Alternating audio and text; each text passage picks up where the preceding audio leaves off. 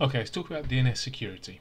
So, DNS is one of the most required things there is in a network. Everything runs on DNS, and therefore it's also one of the main things to get attacked.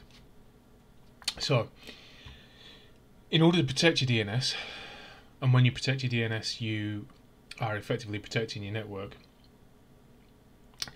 We can use Palo Alto Networks, of course, because yeah, that's what I do. So the license is required for this. The threat prevention license and the DNS security license. Sort of intuitive.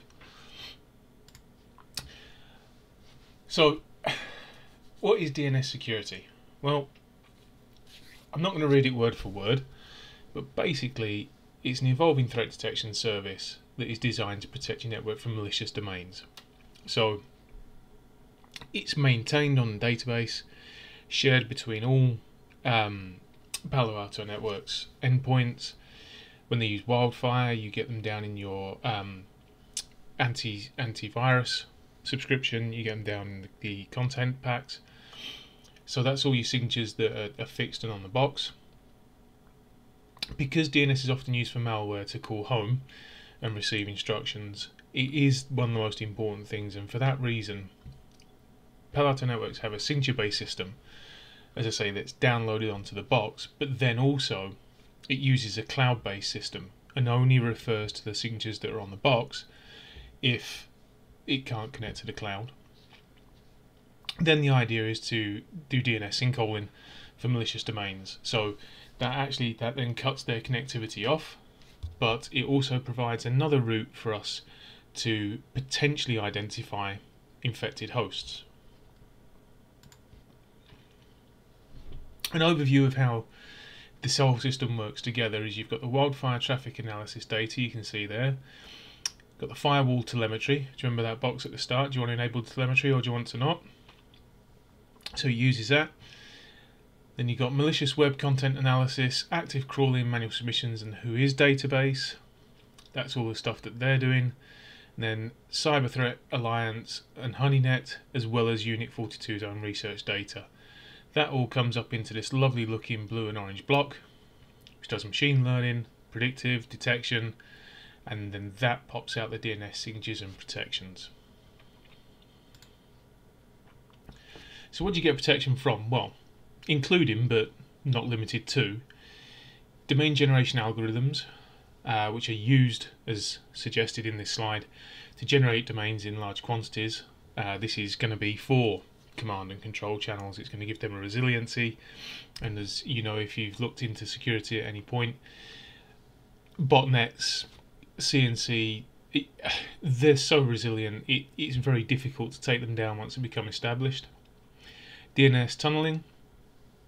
Of course, everybody knows, every attacker knows that DNS is going to be allowed on a network. It's not, not going to be allowed in one form or another. And so if you can encode non-DNS programs into DNS queries and responses, you can effectively give yourself a, a backdoor into operating systems, into um, file servers, so on and so forth. And of course, we've got the good old known malicious domains, which makes sense. Uh, and as the name suggests, uh, domains that are known to be malicious. Um, and this is going to be your instantaneous protection. So somebody gets a phishing email, they go to click the link, they click the link, your firewall knows it's malicious and it blocks it immediately and alerts to it. So that's pretty much what it is. It makes a lot of sense to use it.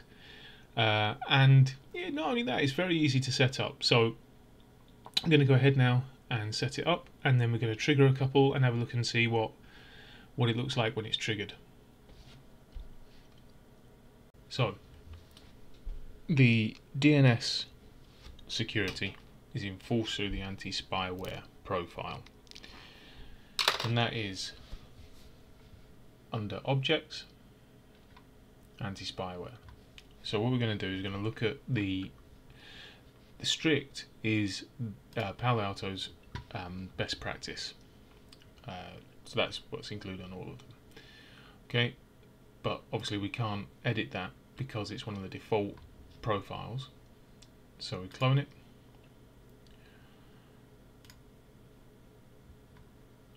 Okay. Give it a name.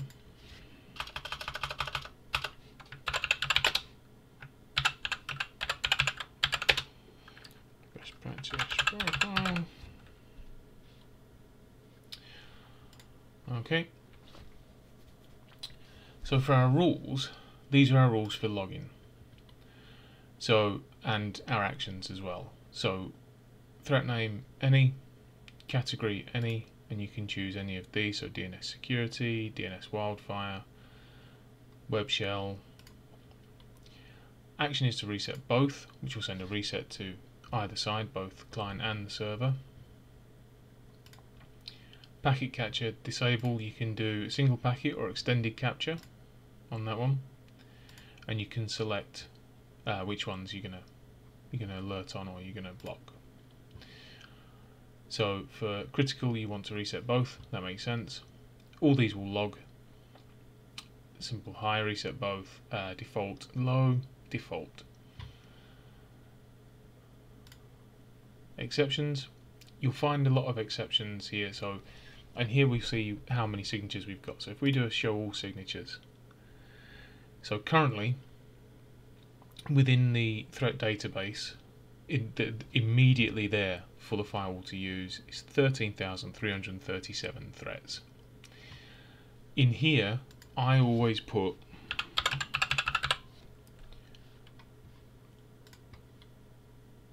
these two as an exception. The reason is because they come up so often and it is just it's just a false positive and the way you do that is simply enable that as an exception. DNS signatures. So the Palo Alto Networks content DNS signatures that's the ones that it downloads in the the content updates. And the Palo Alto Networks DNS security that is the cloud security side. I don't quite know why it says to sinkhole that one and not this one, but best practice is to sinkhole both. And by default, this will be filled in. You can change that to um, whatever you want. You can send it back to your loopback and then log on your loopback, or you can send it to there. You might as well send it to there. Click OK. And then to apply that to a policy. Not a NAT policy because that should be daft.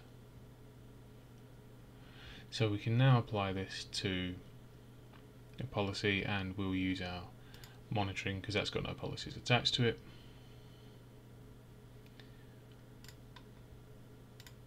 profile setting profiles, anti-spyware, and then we can put that in there.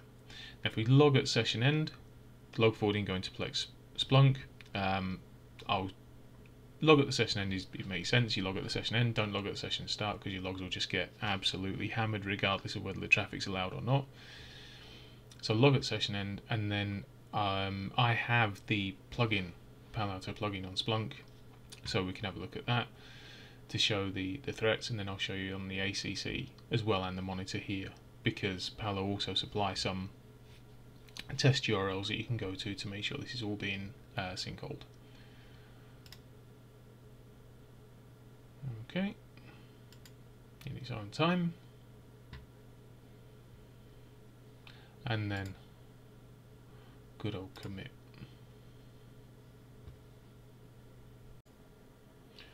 So this is on my Splunk instance and we can see that the firewall is now registering three network instances per hour we can see the times when it's it's tried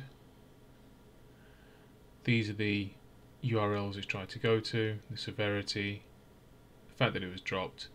And then strangely oddly enough I went looking for the IP address so that we could do the finding compromised hosts part of this and just tried NS lookup and it actually hit drop that as well as being spyware. So um, sorry it's been a malicious dom domain.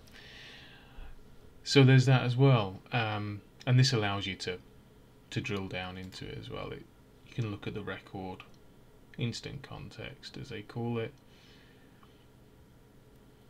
so instant details where it's going, vendor actions, sinkhole, so on. So now we're going to test the configuration. And to do this, Palo Alto provides some test URLs. So we can just fire off against those and we can see that it's going to be sinkholed and then um, we need to get an alert from that so that we know it.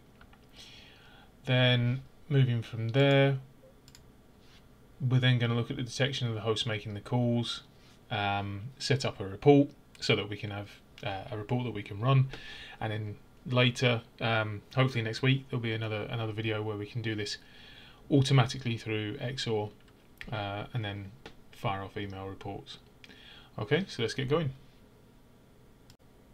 Okay, so here we are on the um, reports page, manage custom reports. I've created the report already, but let's go and have a look and see if we can get some uh, some results into it first, eh? So we'll try the first of the uh, URLs. And that should just give us that. We'll try this one, which is for the command and control. This one, which is to simulate um, dynamic domain um, creation. Can't get my words out. And then finally, this one for testing DNS tunneling, as the URL would tend to suggest. Okay, so none of those were successful. So let's go and have a look at our threat logs. On here. And we can see the results here, but always at the time, and how it's been sinkhole. Okay, that's the action.